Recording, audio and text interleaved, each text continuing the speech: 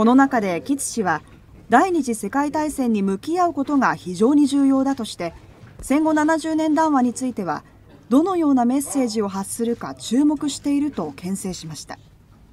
これに対し岡田氏は良い談話が出ることが大事だとした上で外国政府が言い過ぎると反発する人が出る。中国政府が日本政府に注文をつけることが良い結果につながらないのではないかと指摘しました。